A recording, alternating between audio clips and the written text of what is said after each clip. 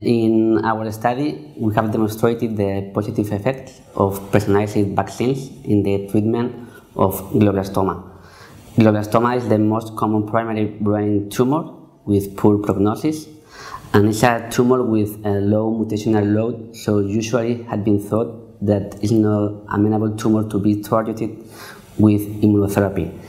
First of all, we demonstrate the feasibility to produce personalized vaccines with the own tumor of the patient.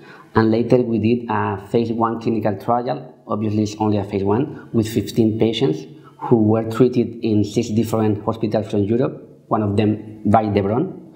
And in this case, we demonstrate the safety and the immunogenicity of this type of uh, vaccines. Now the project coordinators of the consortium, Immatics and BioNTech, are working on develop this approach for this and other types of cancer and we hope that in the future the patients can benefit of these uh, personalized treatments.